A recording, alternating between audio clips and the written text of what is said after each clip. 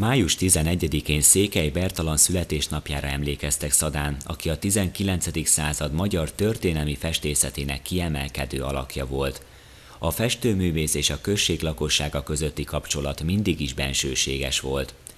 A jelenlévők a megemlékezés hagyományai szerint a festő Szadai síremlékénél gyűltek össze. Az eseményen jelen voltak Székely Bertalan leszármazottai is.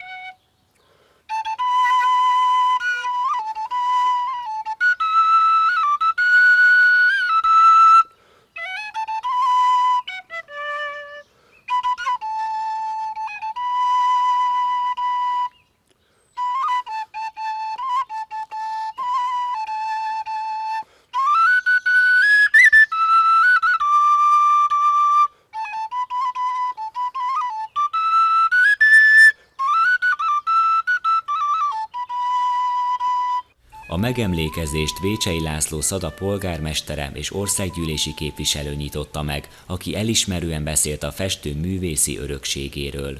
A művész halála óta eltelt több mint egy évszázad alatt községünk időről időre, szinte minden évtizedben megpróbált valamit kezdeni ezzel a fantasztikus örökséggel.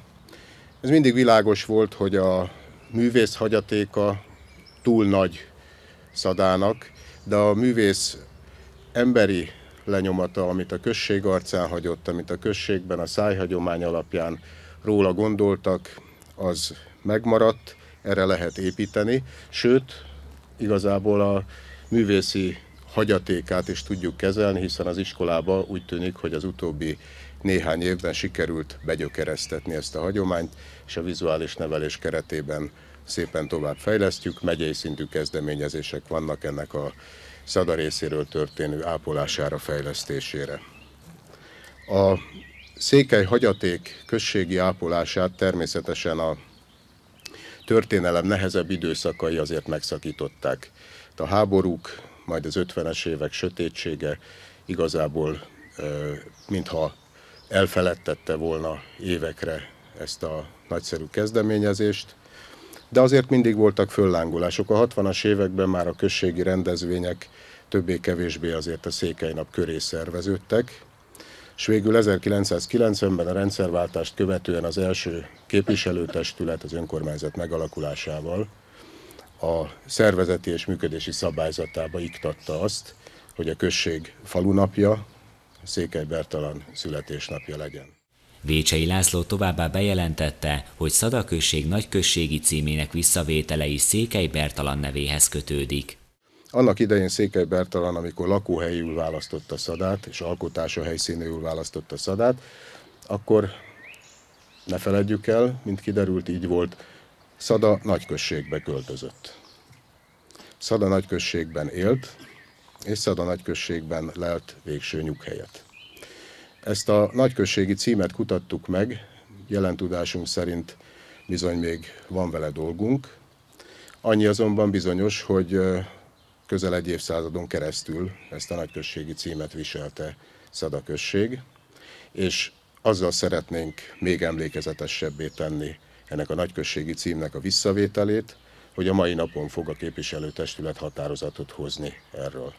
Ez a délután folyamán a kitüntetések átadása előtt fog majd megtörténni, tehát Szada község nagyközségi címének visszavétele is Székely Bertalanhoz kötődik az elkövetkező időben.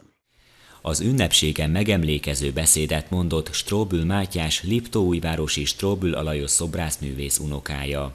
Stróbül Mátyás nagyapja és Székely Bertalan egykori kapcsolatát is megosztotta a jelenlévőkkel. Mind a ketten a, a képzőzeti főiskolán akkoriban még mesteriskolának voltak a, a, a tanárai, és Székely Bertalan igazgatója volt, és mint ilyen Strubba Lajosnak a főnöke volt. 25 év korkülönbség volt köztük, tehát a kapcsolatuk, ha nem is annyira baráti, de kölcsönös tiszteletben voltak egymás iránt. Mind a ketten elismerték másiknak az tevékenységét, Székely Bertalan a festészetnél, Sogó Lajos pedig a mintázásnál, a szobrászatnál alkotott maradandót. Hatalmas életművet hagytak mindeket a maguk után, gondolom, hogy ezt mindenki ismeri. És egy néhány szóval szeretnék a itt élő szoborról mesélni, amit a emlékházban van, Sogó Lajosnak a alkotása, ami Székely Bertalan melszobrául készített. Ennek a szobornak a készítésének a körülményeiről szeretnék néhány szót. Strobel a ezt a szobrot 1910-ben készítette, már amikor Székely Bertalan betegeskedett, és már nem sok volt hátra az életéből. Így aztán Mátyásföldön, amikor kiment az ő lakására, akkor mindig előzetes bejelentés alapján érkezett, hogy a nagy mestert ne fárassza, és ott kerültek sor a mintázásra. Kivitt a forgóármányát, agyagos ládáját, és ott helyben élet után mintázta meg a nagymestert. Erről a mintázásról készített a nagymamám egy fényképet, amit, amit gondolom, hogy ismerik ezt a fényképet, amit a, rajta van a, a, a mester, a, a alkotás és maga a szobrász, aki ezt készítette. Strobül Mátyás beszédét követően elsőként helyezett virágot Székely Bertalan szobrához, majd a szadai református gyülekezet kórusának szolgálatát hallhatták az ünnepség résztvevői.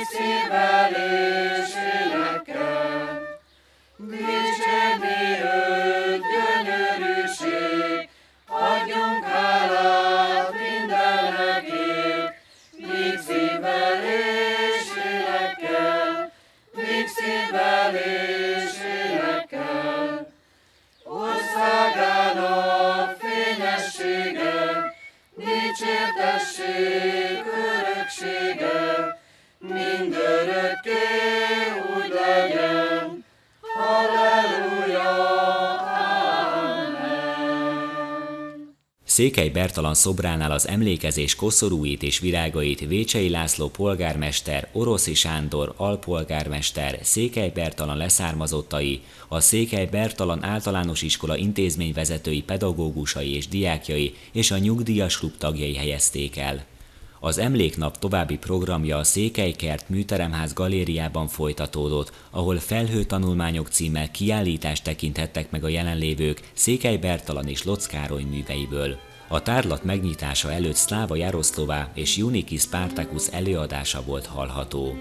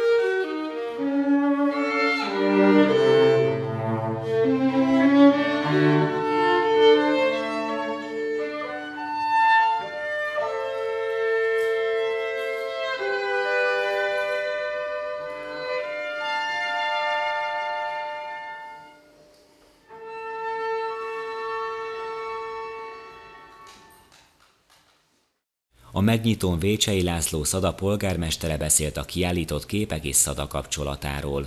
hatalmas kincs Székely Bertalannak a valamikori jelenléte és a hagyatéka.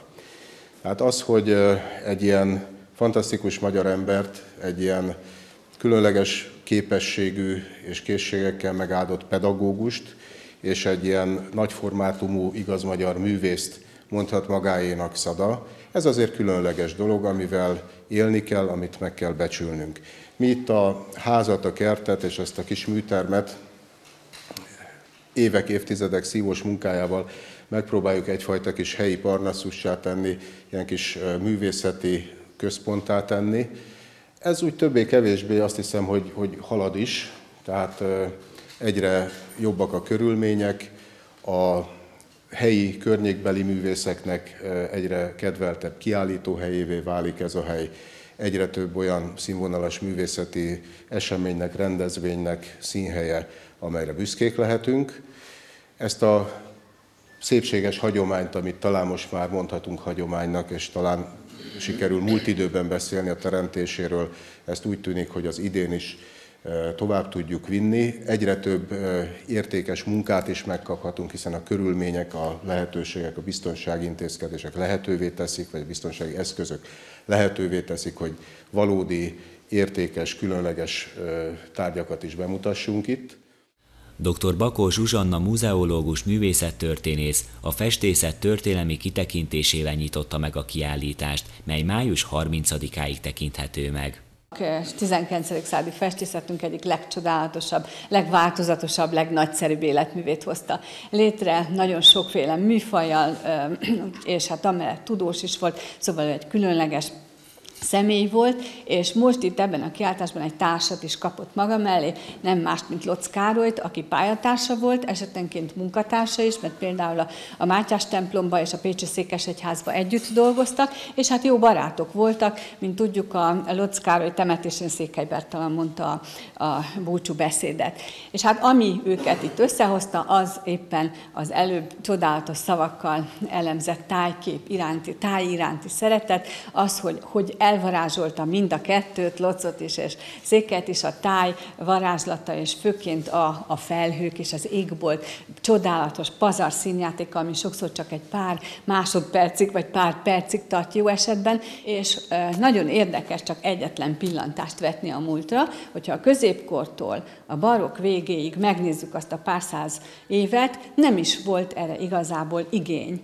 A festők ugyanis nem festhették az égboltot, mert a mennyország az egy tiltott hely volt, az ember számára még gondolatban is, az tabu volt, az egy szent hely volt, ahol istenek, istennők laktak, a keresztény eh, vallás számára pedig az Atyaisten, illetve Jézus Krisztus és Mária mennybe menetelének szintere volt. Ezért a festők, ha festettek is ezeken a képeken felhőket, azok csak is kizárólag azt szolgálták, hogy ezeket az égi jelenségeket alátámasszák.